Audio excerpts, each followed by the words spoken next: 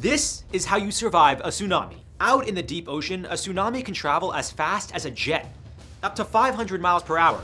But the real danger comes when that speed slows near shore and the wave rises into a towering wall of water capable of wiping out entire coastlines.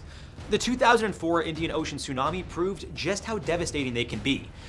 Triggered by a 9.1 earthquake, waves over 100 feet tall killed more than 230,000 people. Among the survivors was Maria Belón, who was vacationing in Thailand when she was swept away, slammed against debris, and separated from her family.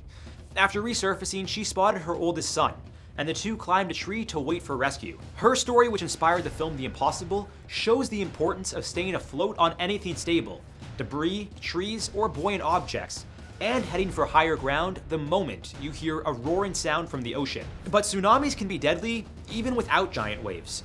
In 2018, a 7.5 earthquake triggered a tsunami in Indonesia. As the ground turned into churning mud, Mulus Ipul and his family were swallowed by collapsing soil. Mulus was buried, then suddenly thrusted back upward by surging mud, allowing him to grab a cable and ride the flow to safety. Tragically, his wife and daughters didn't survive. His story highlights why knowing the geology of your region matters, and why grabbing onto anything that floats or anchors you can save your life. Japan's 2011 tsunami brought another valuable lesson the importance of preparation. When a 9.1 earthquake struck, innkeeper Akiko Iwasaki immediately gathered her family, shut off utilities, and led guests toward higher ground. But seeing people still in the parking lot, she went back to warn them. The wave hit sooner than expected and swept her away. She fought through debris until other survivors helped her onto a bus roof where she escaped before the next surge.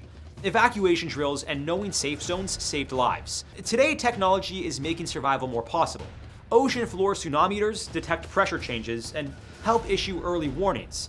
Survival capsules offer last resort protection when evacuation is impossible. VR simulators train people to respond quickly under pressure. But the biggest factor in survival remains the same awareness, quick action, and the determination to keep fighting, even when everything seems lost. And next time you're vacationing near the ocean with your family, just remember